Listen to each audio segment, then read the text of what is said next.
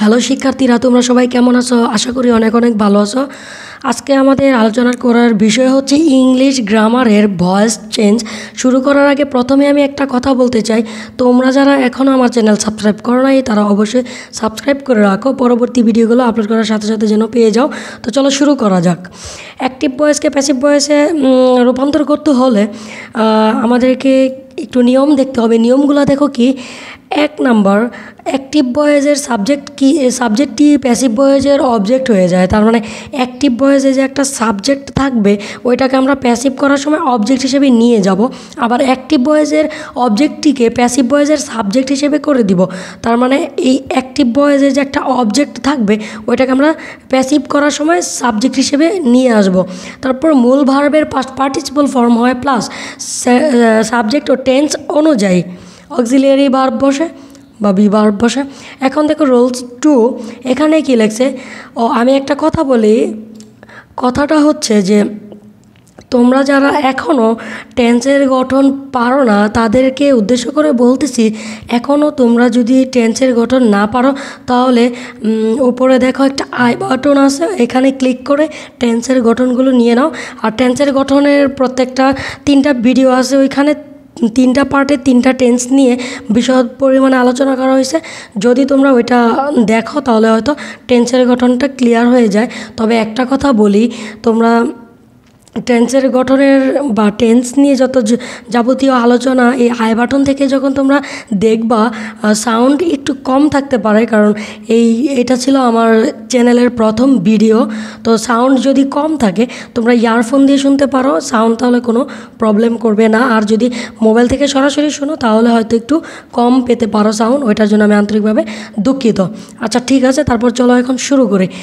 আমি তো বলছি যে অ্যাক্টিভ ভয়েসের সাবজেক্টকে প্যাসিভ ভয়েসের অবজেক্ট হিসেবে আনা হয়, যেমন আই ইট রাইস এখানে আই হচ্ছে সাবজেক্ট প্যাসিভ করতে গেলে এই আইকে আমরা অবজেক্ট হিসেবে নিয়ে যাব। আর রাইস হচ্ছে অবজেক্ট এটাকে আমরা প্যাসিভ ভয়েস করার সময় সাবজেক্ট হিসেবে নিয়ে আসব। এই এতটুকু কনসেপ্ট ক্লিয়ার থাকতে হবে। আর মূল ভার্বের পার্টিসিপাল ফর্ম হয়। সাবজেক্ট ও টেন্স অনুযায়ী অক্সিলারি ভার্ব নিয়ে আসতে হবে। এখন প্রেজেন্ট ইনডিফিনিটের ক্ষেত্রে আমাদেরকে কি করতে হবে জানো? সরি প্রেজেন্ট না মানে ইনডিফিনিট টেন্সগুলোতে আমরা কি করব একটু দেখি। ইনডিফিনিট টেন্স যদি হয় প্রেজেন্ট ইনডিফিনিটের ক্ষেত্রে অ্যাম ইজ আর পাস্ট ইনডিফিনিটের ক্ষেত্রে ওয়াজ অয়ার এবং ফিউচার ইনডিফিনিটের ক্ষেত্রে হ্যাঁ ফিউচার ইনডিফিনিটের ক্ষেত্রে শাল বি অথবা একটা উইল বি আমরা নিয়ে আসব। এটা আমাদেরকে একদম মনে থাকতে হবে, মুখস্থ, ঠুটস্থ, কণ্ঠস্থ, হৃদয়স্থ। তারপর দেখো কন্টিনিউয়াস টেন্সের ক্ষেত্রে কন্টিনিউয়াস কন্টিনিউয়াস তো তিনটা কন্টিনিউয়াস হয় প্রেজেন্ট পাস্ট ফিউচার কন্টিনিউয়াস মানে তিনটা কন্টিনিউয়াস হয়। তো দেখো প্রেজেন্ট কন্টিনিউয়াসের ক্ষেত্রে am being is being are being বসে। তারপর দেখো পাস্ট কন্টিনিউয়াসের ক্ষেত্রে ওয়াজ বিং অথবা কি ওয়ার বিং বসে। ফিউচার কন্টিনিউয়াসের ক্ষেত্রে shall be being will be being বসে। এই তিনটা জিনিস মানে ইনডিফিনিট কন্টিনিউয়াস এবং পারফেক্ট এই তিনটা জিনিসে তিনটা টেন্সে কি কি বসে এটা একটু আমাদেরকে একদম মেমোরাইজ রাখতে হবে। তারপর দেখো প্রেজেন্ট পারফেক্টে বসে হ্যাভ বিন অথবা হ্যাজ বিন তারপরে পাস্ট পারফেক্টে বসে হ্যাড বিন আর ফিউচার ফিউচার পারফেক্টে বসে shall have been will have been তো চলো তিন নাম্বার রুলসে কী বলছি একটু দেখি। প্রেজেন্ট ইনডিফিনিট টেন্স যুক্ত অ্যাক্টিভ ভয়েসকে প্যাসিভ ভয়েসে রূপান্তর করানিও মানে প্রেজেন্ট ইনডিফিনিট টেন্স যুক্ত। এই যে আমি বললাম না, এইখানে তিনটা এইখানে তিনটা এইখানে তিনটা, তাহলে আজকে আমাদের এক্সাম্পল হবে অবশ্যই নয়টা। তারপর, তাহলে প্রেজেন্ট ইনডিফিনিট টেন্স যুক্ত যে এম ইজ আর তিনটার যে কোনো একটা বসে, এইটা দিয়ে আমি তোমাদেরকে একটা এক্সাম্পল দেখাবো। প্রেজেন্ট ইন্ডিফিনিট টেন্স যুক্ত অ্যাক্টিভ ভয়েসকে প্যাসিভ ভয়েসে রূপান্তর করতে হলে আমাদেরকে কি করতে হবে? অবজেক্টের সাবজেক্ট বসে অ্যাজ এম ইজ আর তিনটার যে কোনো একটা বসে প্লাস ভার্বের পাস্ট পার্টিসিপাল ফর্ম বসে প্লাস অবজেক্টের সাবজেক্ট বসে। একটা দেখি তো আই প্লে ফুটবল এখানে অ্যাক্টিভ ভয়েস এখানে হচ্ছে আই প্লে ফুটবল আমরা এটাকে যদি প্যাসিভ করি, তাহলে দেখো আমি বলছি অবজেক্টকে সাবজেক্ট হিসেবে নিয়ে আসব। ফুটবল, এটাকে সাবজেক্ট হিসেবে নিয়ে আসছি। তারপরে বলছি যে এম ইজ আর তিনটার যে কোনো একটা বসে এই ক্ষেত্রে আমরা ফুটবলের সাথে একটা ইজ দিয়ে দিব। আর আমাদেরকে ধরতে হবে এটা কোন টেন্স আছে টেন্স অনুযায়ী তো করতে হবে। এখানে আই প্লে ফুটবল এটা আছে প্রেজেন্ট ইনডিফিনিট টেন্সে সো প্রেজেন্ট ইনডিফিনিট টেন্স করতে গেলে আমাদেরকে যা করতে হবে তিনটার যে কোনো একটা আন- আনতে হবে। এম ইজ আর ফুটবলের সাথে অবশ্যই আর বসে মানে এম বসবে না। আর ফুট মানে ফুটবল তো একটা, তো আরও বসবে না। এখানে ইজ নিয়ে আসতে হবে আমরা। ইজ নিয়ে আসলাম। ফুটবল ইজ তারপর আমি বলছি বার্বের পাস্ট পার্টিসিপল ফর্ম তো এইখানে প্লে এর পাস্ট পার্টিসিপল ফর্ম হচ্ছে প্লেইড তারপরে সূত্রের একটা বাই নিয়ে আসব, এই যে বাই তারপরে সাবজেক্টের অব সাবজেক্টটিকে আবার অবজেক্ট হিসেবে নিয়ে আসব, তাহলে আই এর অবজেক্টিভ ফর্ম হচ্ছে মি এটা মনে রাখবা। আমি মনে হয় তোমরা যারা এই ভিডিওটি প্রথম দেখতেছো আমার চ্যানেলে তাহলে তোমাদেরকে আমি সাজেস্ট করব টেন্সের গঠন থেকে শুরু করে ন্যারেশন আছে, ওইখানে মনে হয় আমি বলে দিছি যে কোনটার যেমন I me my he him his they them their এইভাবে যে মানে সাবজেক্টিভ অবজেক্টিভ এবং পসেসিভ ফর্মগুলো আছে, ওইগুলো আমি ন্যারেশনে মনে হয় দিয়ে দিছি। তো তোমরা একটু কষ্ট করে এই আই বাটন থেকে দেখে নিও, যদি আই বাটনে না থাকে তাহলে নিচের ডিসক্রিপশনে অবশ্যই প্রত্যেকটা ভিডিও তোমরা পেয়ে যাবা। তারপর দেখো দে at they eat rice okay তো এখানে অবজেক্ট হচ্ছে রাইস অবজেক্টকে সাবজেক্ট করে নিয়ে আসো রাইস তারপর দেখো ইজ ইটেন বাই দ্যাম এখন রাইস ইজ এই ভার্বের পাস্ট পার্টিসিপাল ফর্ম নিয়ে আসো ইটেন সূত্রের বাই তারপরে দে এর অবজেক্টিভ ফর্ম হচ্ছে দ্যাম আশা করি বুঝতে পারছ। তারপর প্রেজেন্ট কন্টিনিউয়াস টেন্স যুক্ত অ্যাক্টিভ ভয়েসকে এখানে আমি করতেছি কিন্তু অ্যাসার্টিভ সেন্টেন্সের অ্যাক্টিভ ভয়েসকে প্যাসিভ ভয়েসে রূপান্তর, ঠিক আছে? তো এটা হচ্ছে অ্যাসার্টিভ সেন্টেন্সগুলোর দেখো প্রেজেন্ট কন্টিনিউয়াস টেন্স যুক্ত অ্যাক্টিভ ভয়েসকে প্যাসিভ ভয়েসে রূপান্তর করতে হলে কন্টিনিউয়াসের ক্ষেত্রে, দেখো, নিয়ম কিন্তু সেই একই অবজেক্টের সাবজেক্ট কিন্তু কন্টিনিউয়াস যেহেতু বলছি কন্টিনিউয়াসের সময় এম বিং ইজ বিং অথবা কি আর বিং নিয়ে আসব। জাস্ট এতটুকু চেঞ্জ আর না হয়, বাকি সবগুলো ঠিক আছে। তাহলে একটা উদাহরণ দেখো।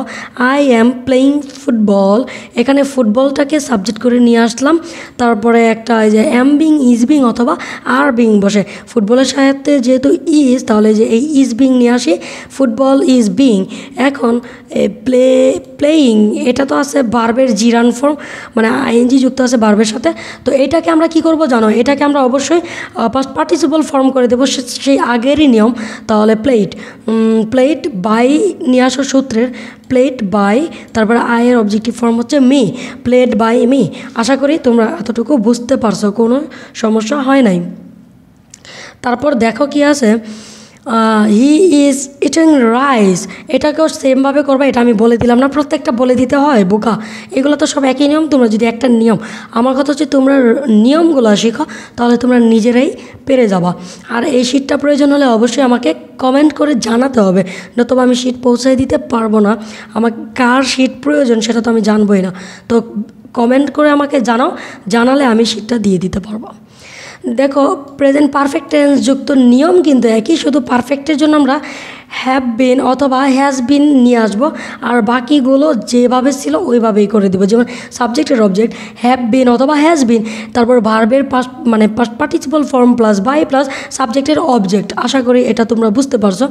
দেখো হি হ্যাজ ইটেন রাইস আমি জেএসসিদেরকে বলছি, যারা জেএসসি পরীক্ষা দিবে, তাদেরকে উদ্দেশ্য করে বলতেছি, যদি আমাকে কমেন্ট করো যে ম্যাম আমাদের তো বোর্ডের সলিউশনগুলো পেলে এবং বুঝায় বুঝায় দিলে অনেক উপকার হতো, তাহলে আমি তোমাদেরকে সেটাও দিয়ে দিব। যেমন মনে করো, এই বয়েস দুই হাজার পনেরো, ষোলো, সতেরো, এই তিনটা সাল ইভেন দুই হাজার চোদ্দ ধরো না কেন দুই হাজার চোদ্দ, পনেরো, ষোলো, সতেরো, এই চারটা মানে চোদ্দ, পনেরো, ষোলো, সতেরো, তিনটা সাল, চারটা সাল, এই চারটা সালের মধ্যে কি কি বয়েজ আসছে প্রত্যেকটা বোর্ড ওয়াইজ যেমন ঢাকা, তারপরে রাজশাহী, চির মানে যে যে বোর্ডগুলো আছে না, সিলেট বোর্ড আছে, বরিশাল বোর্ড আছে, কি কি বোর্ড আছে? এই বোর্ডগুলোর প্রত্যেকটা বোর্ড থেকে কি কি আসছে ভয়েস প্রত্যেকটা বয়েজের আনসার সহ এক্সপ্লেইন করে দিব যদি তোমরা আমার কাছে চাও তাহলে, ঠিক আছে? আর যদি না চাও তাহলে তো বুঝব তোমরা হয়তো বা প্র্যাকটিস করতে পারছ, তাহলে আমাকে আর এটা দিতে হবে না। যদি তোমরা না চাওয়ার চাইলে আমি ওইটাও দিয়ে দিব। হি হ্যাজ ইটেন রাইস এখানে অবজেক্টকে সাবজেক্ট করো রাইস তো রাইস তারপর দেখো হ্যাজ বিন আনতে হবে আমাদের। এখানে কিন্তু অলরেডি হ্যাজটা থাকবে, তো আমরা শুধুমাত্র বিন নিয়ে আসব। Rice has been eaten by him আশা করে বুঝতে পারছ ইটেন কেন হলো? ওই যে বার্বের পিপি এখানে ছিলই এটা, এটাই নিয়ে আসছে। তারপর সূত্রের বাই আর হি এর অবজেক্টিভ ফর্ম হচ্ছে হিম তো rice has been eaten by him তারপরে এইটা আমাকে বলতে হবে না, পরেরটা দেখো। পাস্ট ইনডিফিনিট যুক্ত যদি হয় পাস্ট ইনডিফিনিট হইলে ওয়াজ অথবা অয়ার দিয়ে দিব। আর বাকি নিয়মগুলো সব একই। দেখো আই অ্যাট রাইস এখানে রাইস রাইসের মতো দিয়ে দাও। রাইস তারপরে অ্যাট দিয়ে বুঝতে পারতেছি এটা পাস্ট ইনডিফিনিটে আছে। তাহলে পাস্ট ইনডিফিনিটে থাকলে আমরা অবশ্যই অবশ্যই ওয়াজ অথবা অয়ার ইউজ করব। তো ওয়াজ নিয়ে আসো। Rice was eaten by me নিয়ম কিন্তু একই, তোমরা একটু খেয়াল করে দেখো। পাস্ট কন্টিনিউয়াস যদি হয় তাহলে ওয়াজ বিং অথবা ওয়ার বিং আর বাকি যে নিয়মগুলো ছিল সেইগুলো সেম একই থাকবে। তাহলে দেখো আই ওয়াজ ইটিং রাইস তাহলে রাইস অবজেক্টকে সাবজেক্ট করো রাইস তারপরে ওয়াজ অলরেডি আছে আমরা এটা লিখে দিলাম। একটা বিং আমরা অতিরিক্ত নিয়ে আসলাম একটা বিন বিং আর ইটেন এর মানে ইটিং এটার পাস্ট পার্টিসিপাল ফর্ম হচ্ছে ইটেন আচ্ছা ইটেন তারপরে সূত্রের একটা বাই নিয়ে আসো, নিয়ে আসলাম, তারপরে আয়ের অবজেক্টিভ ফর্ম হচ্ছে মি বাই মি প্রত্যেকটা কি বলে দিতে হবে? তোমরা তো বুঝে গেছো আমি মনে করি they why are watching fishes তোমরা এটা নিজেরা করো, হয়ে যাবে। দেখো পাস্ট পার্ট মানে পাস্ট পারফেক্ট টেন্স যুক্ত যদি হয় ওকে পাস্ট পারফেক্ট টেন্স হলে আমরা শুধু হ্যাড বিন নিয়ে আসব, আর বাকি নিয়মগুলো কিন্তু একই I had eaten rice I had been eaten না rice has been eaten by me তারপরে দেখো ফিউচার ইনডিফিনিট যদি হয়, তাহলে শ্যাল বি অথবা উইল বি নিয়ে আসবে। আর বাকি নিয়মগুলো সব একই থাকবে দেয়ার ইজ নো চেঞ্জ শুধুমাত্র শ্যাল বি অথবা উইল বি নিয়ে আসবা, আর বাকি নিয়মগুলো একইভাবে করবা। আই উইল ইট রাইস তাহলে রাইস নিয়ে আসো সাবজেক্ট হিসেবে রাইস উইল বি এই যে বলছি শ্যাল বি অথবা উইল বি তো রাইস উইল বি ইটের পাস্ট পার্টিসিপাল ফর্ম ইটেন সূত্রের বা বাই তারপরে আয়ের অবজেক্টিভ ফর্ম হচ্ছে মি তাহলে rice will be eaten by me তারপরে they will play football football will be played by them আশা করি বুঝতে পারতেছো। ফিউচার কন্টিনিউয়াস টেন্স যুক্ত অ্যাক্টিভ বয়েসকে প্যাসিভ বয়েসে রূপান্তর যদি করো কন্টিনিউয়াস হলে আমরা যেটা বসাবো সেটা দিয়ে করে দিব। শ্যাল বি এই যে শ্যাল বি বিং অথবা কি উইল বি বিং ঠিক আছে? তো এটা দিয়ে তোমরা করে ফেলো। I will be eating rice এখন rice will be being eaten by me এটা তোমরা পারবা। ফিউচার পারফেক্ট যদি হয়, তাহলে শুধু এই এতটুকু চেঞ্জ আমি বারবার বলতেছি, তোমরা যদি না বুঝো, একটু খেয়াল করে প্রথম থেকে শুনে আসো, আমি প্রথমে কি বলছি। তবে ভিডিওটা প্রথম থেকে শেষ পর্যন্ত অবশ্যই দেখতে হবে। অবজেক্টের সাবজেক্ট তাহলে শ্যাল হ্যাভ বিন অথবা উইল হ্যাভ বিন এই দুটা বসাবো। বাই যে দেখছ বার্বের পিপি সূত্রের বাই তারপরে সাবজেক্টের অবজেক্ট এগুলো একই নিয়ম। I will have eaten rice তাহলে rice will have been eaten by me ইনশাল্লাহ পার, পারবা তোমরা। তাহলে দেখো রোল ফোরে কি আছে?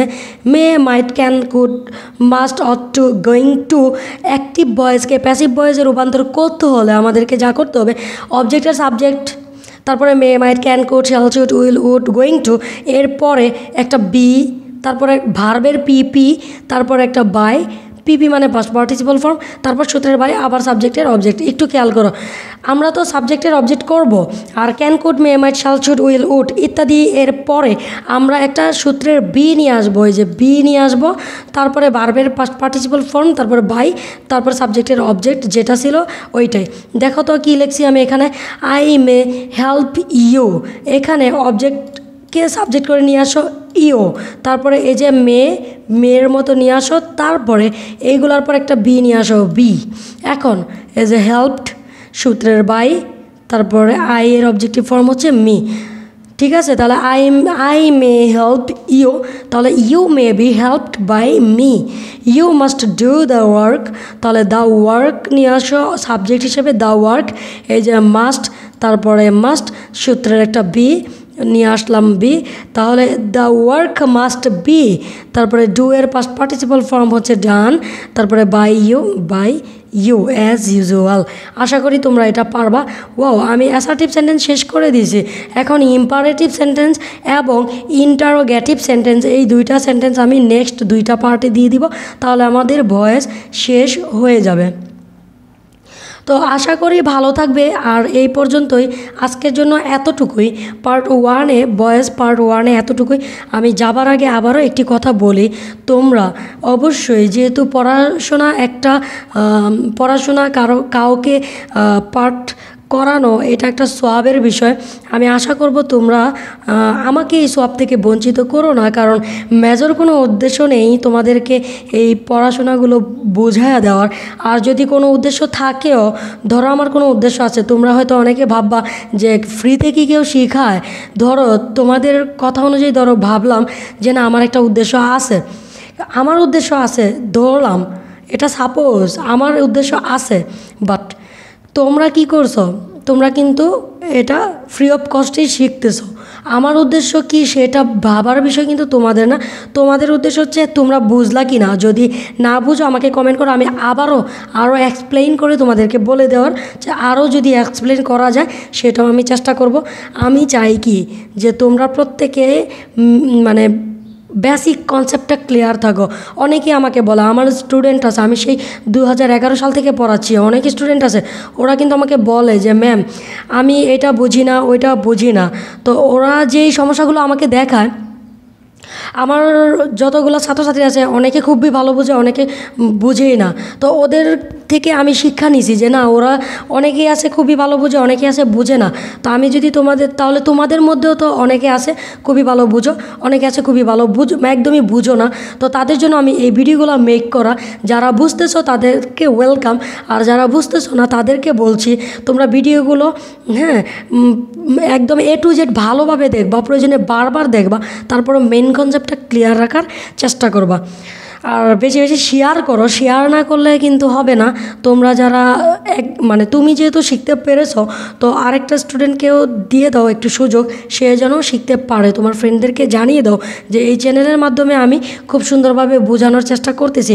বলব না সুন্দরভাবে বুঝাই দিছি, কারণ এমনও স্টুডেন্ট হয়তো বা থাকতে পারো যে কিছুই বুঝো নাই। তো তাদের জন্য আমি বলি, তারা কমেন্ট করে আমাকে জানাও যে ম্যাম আমি আপনার একটা ভিডিও বুঝতে পারি নাই। আমি তোমাদেরকে কন্ট্যাক্ট করার চেষ্টা করব। আমি প্রয়োজনে তোমাদেরকে লাইভে এসে বোঝানোর চেষ্টা করব। যদি এভাবে না হয়, আমি হোয়াইট বোর্ডের মাধ্যমে ফেস টু ফেস এসে বোঝায় দেওয়ার চেষ্টা করব। তারপর আমি চেষ্টা করব তোমরা যেন ভালোভাবে শিখো। কারণ শিক্ষকতা পেশায় আমি সারা জীবন থাকব কি না সেটাও মানে নিশ্চয়তা নাই। আমার ইচ্ছা নাই শিক্ষকতা পেশায় সারা জীবন থাকার। তো আমি যেহেতু শিক্ষকতা পেশায় যদি আমি নাই থাকি, কিন্তু আমি চাই যে আমার পড়ানোর স্টাইলটা বা আমি কীভাবে বোঝাইলাম, এই মানে যদি বোঝাইতে পারি ভালো, তাহলে আমি আশা করব যে প্রত্যেকে যেন সারা জীবন এগুলো শিখতে পারো। আমার থেকে। আর আমি এমনও হইতে পারে, আমি যদি শিক্ষকতা পেশায় থাকিও, বৃদ্ধ বয়সে হয়তো বা আমি বোঝাতে পারব না। এমনভাবে হয়তো বা আর দুই চার পাঁচ বছর পরে বুঝাইতে পারব না। এখন যেভাবে বুঝাইতে চাই বা এখন যে বোঝানোর প্রবণতাটা আমার ভিতরে আছে হয়তো বা এক দেড় বছর পর বা দুই বছর পর এরকম প্রবণতা আমার নাও থাকতে পারে। এই কারণে এই ভিডিওগুলো মেক করা। ঠিক আছে? তো তোমরা যারা বুঝতে পারছ, খুবই ভালো। বুঝতে না পারলে আমাকে কমেন্ট করে জানাও। আমি লাইভ সেশন করব ডিসেম্বর মাসের পরে। তখন থেকে আমি হয়তো একটু ফ্রি হয়ে যাব। তখন আমি ম্যাক্সিমাম সময় ইউটিউবে লাইভে আসব। তো তোমরা এরই মধ্যে যারা বুঝতে পারো, তারা তো ভালো। আর যারা বুঝতে না পারো, আমাকে অবশ্যই জানো শেয়ার করো লাইক করো এবং চ্যানেল সাবস্ক্রাইব করে বেল আইকনে ক্লিক করে রাখো। এটা তো তোমার অপকার হবে না। আশা করি উপকারী হবে, যেহেতু এরা এ- এটা একটা এডুকেশনাল চ্যানেল তো তোমাদের অপকার হবে না, এতটুকুই বুঝতেছি। তো ভালো থেকো তোমরা সবাই, সুস্থ থেকো, আর আমার জন্য একটু দোয়া করো, আমি যেন প্রত্যেকটা ভিডিও তোমাদের মনের মতো করে মেক করে তারপর দিতে পারি। তো আল্লাহ হাফেজ।